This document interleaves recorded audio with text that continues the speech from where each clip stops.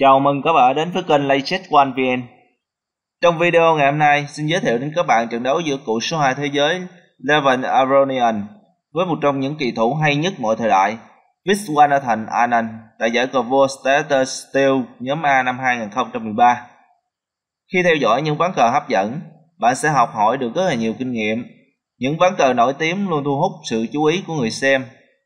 Từ khi môn cờ vua ra đời đã có rất là nhiều những ván cờ hay đi vào lịch sử và ván đấu này chính là một trong những ván cờ hay và hấp dẫn như thế. Ván cờ đã được ca ngợi là một trong những màn trình diễn xuất sắc nhất của Anand. Khi mà phát triển lực lượng nhanh chóng cộng với tấn công được xem là cách hiệu quả nhất để dẫn đến chiến thắng. Trong đó yếu tố vật chất thường không được coi trọng. Với những tình huống tấn công nhanh và những pha phản công, ván cờ này thường được chiêm ngưỡng lại nhiều lần. Để các bạn khỏi phải đợi lâu, chúng ta đi ngay vào trận đấu vô cùng đặc sắc này. Mở đầu ván đấu, Avernian cầm trắng và chơi tốt D4. Anan cầm đen đáp trả bằng cách cho tốt lên D5. Tốt trắng C4 mời đội tốt. Đen không đổi tốt mà lên tốt C6. Mã trắng F3. Mã đen F6. Mã trắng C3. Tốt đen E6 thiết lập thế trận phòng thủ semi slab. Tốt trắng E3 chuẩn bị phát triển tượng. Mã đen D7. Tượng trắng D3 có lẽ là bàn cờ ngày trở nên chật chội. 32 quân chủ lực hẳn còn y nguyên. Đen đã quyết định lấy tốt ăn C4 đơn giản hóa cuộc thế hơn. Tượng trắng ăn lại C4 khiến trắng mất tiền.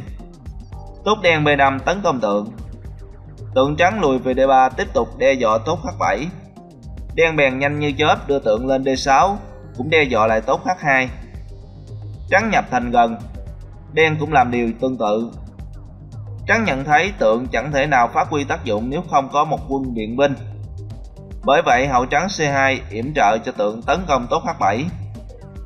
Tượng đen B7 chuẩn bị đưa xe qua C8 rồi tốt C5 khai thông cục C cho xe. Đồng thời mở đường chéo cho tượng tấn công mở mã F3. Tốt trắng A3 chuẩn bị lên tốt B4 ngăn tốt đen đến C5. Ở đây đen không chơi tốt A6 giữ tốt B5 để tốt C6 thoải mái lên tốt C5 mà đang xuất xe qua C8 như kế hoạch. Tranh trước một con đường quan trọng. Tại vì chỉ có cách đi này, mới bảo kê tốt từ từ lâm trận lên phía trước. Trắng không lên tốt B4 vì nghĩ tốt đen C5 tốt B ăn lên, tượng đen sẽ ăn mã. Tốt ăn lên, vua sẽ không được bảo vệ an toàn. Cho nên ở đây trắng thay đổi phương án là mã G5 để công kích vào điểm yếu H7 chết người của đen nếu đen đâm mở tốt biên H6 đuổi mã, thì mã lùi về E4 tấn công đôi mã và tượng, gây sức ép ở trung tâm.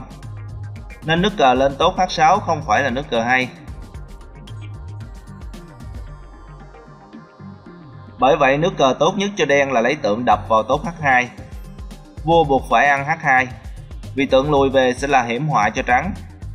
Mã đen chỉ chờ có vậy đi G4 chiếu vua, mở đường cho hậu tấn công mã trắng vua quay đầu trở lại G1 hậu đen ăn lại mã G5 nếu tốt trắng lên F3 đuổi mã, thì mã lùi về lại F6 bảo vệ tốt H7 còn nếu trắng vội vàng ăn tốt H7 chiếu, vua H8 tốt trắng F3 đuổi mã mã sang thêm một tốt E3 của trắng, bắt đôi hậu và xe trắng.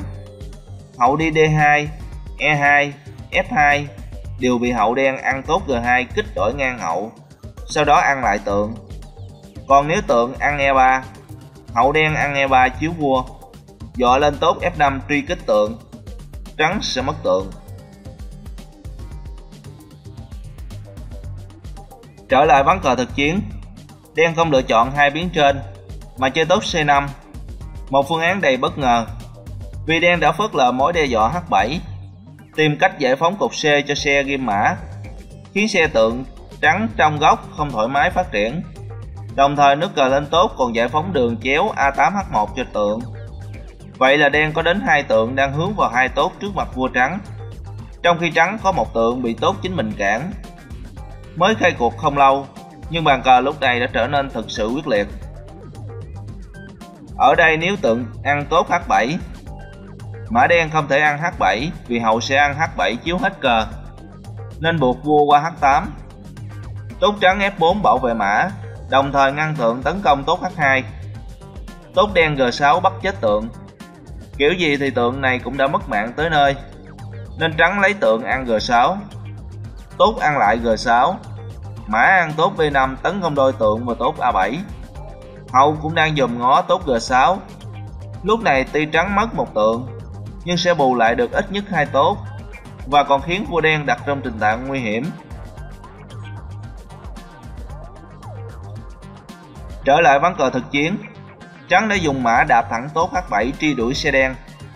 Đây là sai lầm nhỏ đầu tiên của trắng trong trận đấu này. Nếu đen vội vàng lấy mã ăn H7, tượng ăn H7 chiếu vua, buộc vua H8, tượng chạy về E4 tiện đường kích đấu ngang. Tượng đen ăn E4, hậu trắng ăn E4 thoát khỏi hiểm họa từ xe C8.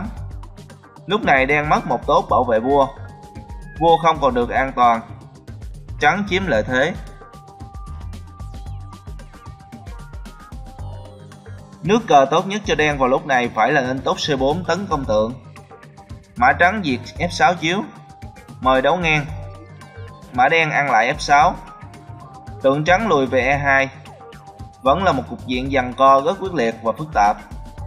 Lúc này trắng có bốn quân cờ mạnh ở giữa. Không thông thoáng lắm còn hai tượng đen đang chỉ súng vào hai tốt cánh vua. Đen cũng chỉ cần lên mã là có thể đưa hậu tham chiến. Thế trận khá ổn cho đen. Quay trở lại diễn biến chính trận đấu. Đen đã cho mã lên g4 kết hợp với tượng đe dọa tốt h2 đồng thời mở đường cho hậu đến h4 và đến đây thì hình cờ của đen thông thoáng hơn cả. Dễ tiên liệu về sau nếu trắng vội vàng lấy mã ăn xe F8 Tượng đen ăn tốt H2 chiếu, Buộc vua chạy H1 Sau khi chủ lực thứ nhất đã chiếm cứ yếu đạo, Hậu đen H4 chuẩn bị đi tượng G3 chiếu mở dọ sát. Trắng không cầm cự được lâu. Còn nếu trắng lên tốt G3 cản tượng, Thì đây là một sai lầm của trắng, Vì khi đó vua sẽ bị tượng đen kiểm soát hai ô G2 và H1 Kế tiếp, mã đen nhanh nhẹn diệt tốt H2 bắt xe. Vua ăn H2. Hậu sẽ H4 chiếu. Tốt không thể ăn lại vì đang bị tượng ghim. Buộc vua G1. Hậu H1 sẽ game over. Xét trường hợp thứ ba, là trắng lên tốt H3 tấn công mã. Tượng đen H2 chiếu. Buộc vua H1. Hậu cũng đến H4 đe dọa ăn tốt H3 vì tốt G2 đang bị ghim. Lúc này trắng phải tìm cách tháo ghim cho tốt G2. Ví dụ tốt trắng D5, đen bèn chạy xe qua D8 thoát khỏi mối đe dọa từ mã trắng. Lúc này thì cục diện trận đấu rất cân bằng, nhưng các bạn để ý, hai xe đen đang có sự liên kết và kiểm soát hai cột CD. Trắng vẫn còn xe tượng chưa hề nhúc nhích, rất khó khăn cho trắng đưa ra những lựa chọn chính xác để tiếp tục trận đấu.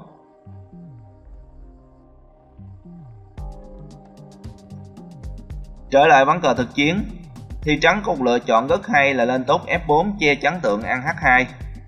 Nước cờ của Aronian vô cùng chắc chắn và trọn vẹn. Đen nhanh nhẹn lấy tốt ăn D4. Trắng không lấy mã ăn CF8 mà lấy tốt ăn lại D4. Đến đây đen có nhiều phương án chơi tiếp như hậu B6 đe dọa lại tốt D4 hay hậu H4 đe dọa tốt H2 hay mã đen có thể lên F6 nhưng không các bạn đen đã lên tượng C5 một nước đi rất ngược với quy luật của tự nhiên. Chuyện gì xảy ra vậy? Một nước cờ lỗi chăng? Vì nơi đây đang bị tốt trắng kiểm soát. Vậy thì có phải là đen đã phạm phải một sai lầm chí mạng? Nước cờ mới đến nước thứ 15, nhưng đã không nhìn thấy một sơ hở chết người này. Bây giờ nếu trắng chẳng chút nghi ngờ lấy tốt ăn thượng C5, mã đen bèn ăn lại C5, nhân tiện kết hợp với hậu gây sức ép mạnh lên tượng D3 trắng đi hậu E2 tốt H3 hay mã ăn xe đều bị mã ăn D3 ví dụ mã trắng ăn xe F8 mã đen nã thẳng vào tượng D3 tăng sức ép lên ô F2 rất khó để trắng cản nước cờ hậu D4 chiếu. Ta thử đi tốt H3 tấn công mã, đồng thời giải phóng ô H2 cho vua khi mã đen đi khỏi. Hậu đen D4 chiếu. Buộc vua H1 mã đen F2 chiếu. Nếu vua trở lại G1 sẽ bị mã E4 chiếu mở. Vua trở lại H1 thì bị mã G3 chiếu sát. Bởi vậy ở đây xe phải ăn F2. Mã ăn F2 chiếu. Vua đi H2 để tránh chiếu mở. Và sau đó vua ăn lại F8. Quan sát lúc này tuy lực lượng hai bên cân bằng, nhưng mã trắng đang bị xe game. Xe trắng thì vẫn chưa phát triển. Đen từ chỗ mất tượng, bây giờ đã có thế trận tốt hơn so với trắng. Và tới lúc này thì ta mới thấu đáo được dụng ý rất sâu của đen. Còn nếu mã lùi về G5 cản hậu H4, tượng đen chẳng chút ngại ngần ăn D4 chiếu vua. Vua trắng H1, mã đen lên F6 phòng thủ H7, giảm áp lực cho vua đen. Quan sát thế trận lúc này, hai tượng đen đang kiểm soát tốt đường chéo của mình. Xe thì đang ghim mã, mã đen thì đe dọa tốt H2. Nhìn chung đen chiếm ưu thế rất lớn. Đứng trước nước cờ quá cao thâm của đen, xem ra nước cờ lấy tốt ăn tượng là hợp theo tự nhiên. Nhưng như thế sẽ đúng ý đồ của đen. Còn nước cờ mã G5 thì chưa hay. Nên trắng có một quyết định táo bạo là tượng E2 bắt mã G4 nhằm gây bất ngờ cho đối phương. Đến lúc này đen vẫn có thể lên hậu H4 hoặc tượng ăn D4 chiếu, lợi thế cho đen ngay lập tức. Nhưng đen đã cho mã lên E5, một nước cờ rất hung hãn và đầy thiện chí về phía trước, đưa chúng ta từ bất ngờ này đến bất ngờ khác. Các bạn để ý xem, vị trí này đang bị tốt trắng F4 kiểm soát. Trong một trận đấu đã có đến hai lần thực hiện đòn hy sinh liên tiếp, mà mới nhìn vào ta không thể thấy hết quyền cơ trong đó. Một đòn đi có vẻ rất lưng chừng và hờ hững, tác dụng thực sự còn chưa mấy rõ ràng. Nhưng thực ra đòn này chờ sẵn trong án chiêu rất tàn độc. Nếu đỡ tay không kịp thì lập tức phải mất bạn ngay. Mời các bạn cùng mình phân tích tiếp thủ đoạn của đen ở nước cờ này là gì nhé. Khi mã đen đến E5 nhằm giải phóng cục D cho hậu, nhưng đen có đến hai quân cờ bị hai tốt tấn công, một quân cờ bị mã tấn công. Về phía trắng thì tốt D không thể ăn mã E5 vì đang bị tượng ghim. Ta xét trường hợp thứ nhất là tốt ăn tượng C5. Hình cột của trắng chẳng mấy chốc mà nát tan. Vì khi đó hậu D4 chiếu. Nếu xe lên F2 cản chiếu, hậu ăn F2, vua qua H1, hậu sẽ ăn G2 chiếu sát. Bởi vậy ở đây vua trắng sẽ qua H1, mã đen F2 chiếu, xe đen ăn F2 thì hậu ăn F2 và tất nhiên vẫn còn đang án phục dọ hậu ăn G2 và hậu E1 chiếu hết. Trắng không thể phòng thủ cùng lúc hai nước cờ. Bởi vậy ở đây vua trở lại G1, mã sẽ H3 lưỡng chiếu, buộc vua H1, hậu G1 chiếu thu hút xe ăn G1, mã đi F2 tạo nên tuyệt sát với đòn chiếu thất cổ. Tiếp tục ta xét trường hợp mã ăn CF8 hay tốt ép ăn mã E5 e, e thì kết cục sẽ như nhau. Trước tiên hậu đen ăn D4 chiếu, tượng E3 cản chiếu, hậu không thương tiếc chém thẳng tay tượng E3 chiếu. Nếu xe lên F2 cản chiếu, hậu ăn F2, vua qua H1, hậu sẽ G2 chiếu sát. Bởi vậy ở đây vua trắng sẽ qua H1, hậu đen G1 chiếu, một đòn phế quân kinh hồn của đen, thu hút xe ăn G1 Mã đi F2 tạo nên tuyệt sát. Nước cờ đi mãi F5 này quá hay các bạn ạ. Mình không biết nói gì ở đây nữa.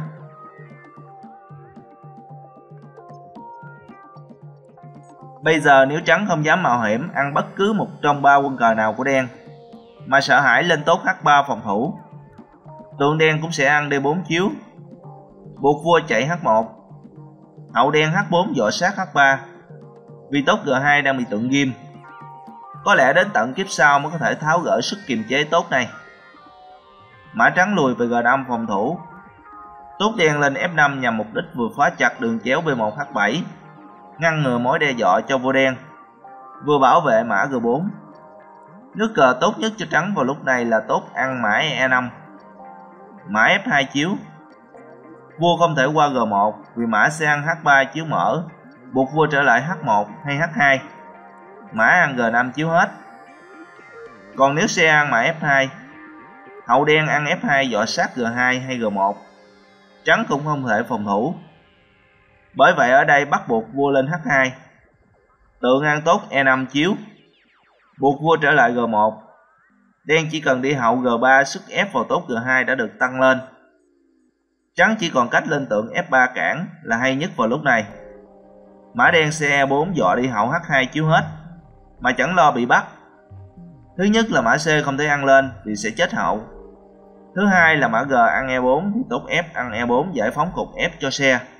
Trắng khó khăn bội phần. Còn thứ ba nếu tượng trắng ăn E4, hậu H2 chiếu, vua chạy lên F2. Túc ăn E4 chiếu mở. Bởi vậy ở đây buộc xe qua D1. Giải phóng ô F1 cho vua. Hậu H2 chiếu. Vua trắng F1. Đen chơi tượng đen ăn mã C3 đánh quân chủ lực rất tài tình. Tại vì chắc chắn một điều tốt trắng ăn C3. Xe ăn C3 tấn công hậu. Hậu phải tháo chạy ngay. Nhưng hậu không có nhiều phương án để lựa chọn. Nếu hậu đi E2 sẽ bị hậu đen H2 sát cục. Ví dụ ở đây hậu chạy qua B2. Nhưng lúc đó xe sẽ ăn tượng F3 chiếu. Mã trắng ăn F3. Hậu đen H1 chiếu. Nếu mã trắng G1 cản chiếu mã sẽ G3 chiếu, trắng sẽ dễ dàng mất mã và thua nhanh. Bởi vậy ở đây vua sẽ chạy E2, hậu ăn G2 chiếu, vua đi E3 thì tốt F4 chiếu, buộc vua D3. Còn nếu vua E1 thì hậu G3 chiếu, buộc vua E2, sau đó hậu F2 chiếu thì vua cũng D3. Nên ta xét vua D3 ngay từ đầu luôn. Nhưng nước cờ này e rằng trắng cũng không thể nào cầm cự được lâu tại vì chắc chắn là đen chơi mã C5 chiếu. Vua đi đâu cũng sẽ bị hậu ăn F3 và thua nhanh thôi.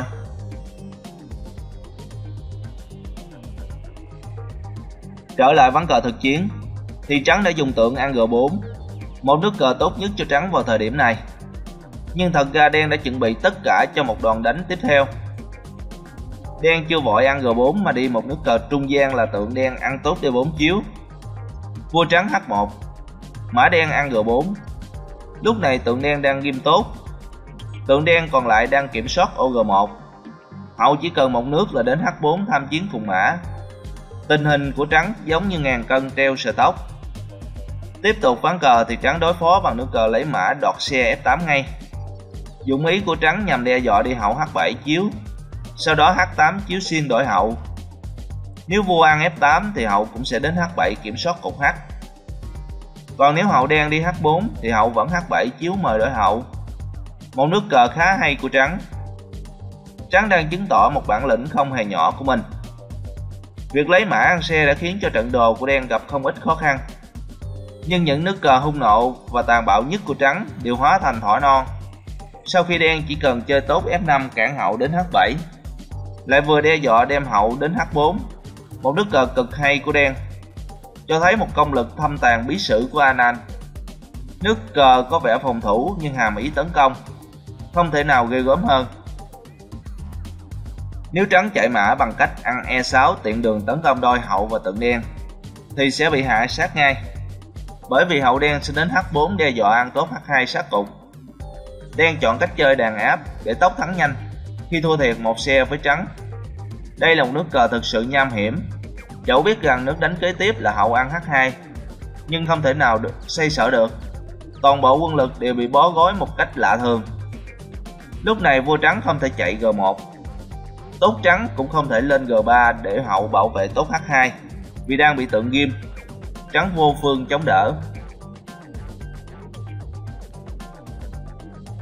Quay trở lại ván cờ thực chiến, thì trắng đã lên mã G6 ngăn hậu đến H4 nên hậu đen theo F6 truy bắt mã. Gần như là kẻ không nơi nương tựa vào thời điểm này. Có thể nói là một nước đánh kinh người, thua kém quân chủ lực, nhưng thế trận rất tốt, đang cung cấp cho trắng những nước cờ quỷ khóc thân sầu. Ví dụ mã trắng chạy E5, mã đen sẽ quét tốt biên H2 bắt xe, vua ăn lên hậu H4 sát cục. Bởi vậy trắng lên tốt H3, tấn công mã, hậu đen ăn G6, Tốt trắng không thể ăn G4 vì hậu sẽ H6 sát cục. Bởi vậy hậu trắng E2, hậu đen H5 dọ sát H3 và chắc chắn sẽ hình thành ra một bại cọc bi thảm. Trắng đã hoàn toàn sụp đổ về mặt chiến thuật của mình. Gần như đã vỡ trận tới nơi. Nước cờ đúng cho trắng lúc này phải là lên CF3 cản tượng nghiêm tốt. Mã F2 chiếu. Xe trắng không thể ăn F2 vì hậu sẽ ăn H3 rồi G2 dọt sát cục. Bởi vậy vua phải H2. Tượng ăn CF3. Hậu trắng ăn f3 mời đấu ngang quân. Hậu đen ăn F3. Tốt trắng ăn F3. Mã đen D3 bắt đôi tượng và tốt B2. Lúc này thì lực lượng hai bên cân bằng nhưng tượng không thể phát triển vì phải bảo vệ tốt B2 trước sự tấn công của mã, dẫn đến xe cũng bị khóa theo. Còn nếu trắng đi mã ăn B5 bắt tượng, sau khi nó đã tự cởi trói cho bản thân, thì vạn sự đã không thể nào cưỡng cầu nữa. Vì xe đen C2 chiếu, vua H1, tượng lùi về B6, khiến tượng trắng không còn ô nào để di chuyển. Trắng mất tượng, Đứng trước những nước cờ quá giả man của bên đen, Abronian lúc này đã tối tăm mặt mày, nên có quyết định sai lầm trong ván cờ này là đi hậu D3 bảo vệ tốt H3. Trận đồ của trắng đến đây gần như đã sụp đổ hoàn toàn. Đen không đi hậu H4, mà vẫn quyết định duy trì thế kiềm chế ác liệt này, bằng cách cho tượng E3 thực hiện đòn can thiệp cắt đứt sự bảo vệ của hậu dành cho tốt H3. Hậu không thể ăn thượng, vì mã sẽ ăn lại và trắng cũng sẽ thua chỉ vài nước sau đó. Có thể thấy là những chiêu thức thần thánh của Anan đã đang làm cho Abronian rơi vào trạng thái túng quẫn. Đến đây thì trắng buông cờ nhận thua. Còn nếu chơi tiếp, ví dụ tượng trắng ăn E3, hậu ăn tốt H3 chiếu, buộc vua G1, hậu đen ăn tốt G2 chiếu hết. Còn nếu xe trắng lên F3 cản tượng, tượng đen ăn F3, Tượng trắng ăn E3 Hậu ăn tốt H3 chiếu Buộc vua G1 Hậu ăn G2 sát cục. Có thể nói trận chiến rất hay, Với những đường cờ không thể nào bất ngờ hơn. Cờ vua Playchess của anh VN sẽ tiếp tục câu chuyện của mình ở phần tiếp theo. Các bạn đừng quên đăng ký kênh để tiện bề theo dõi. Một lần nữa xin chào và hẹn gặp lại các bạn.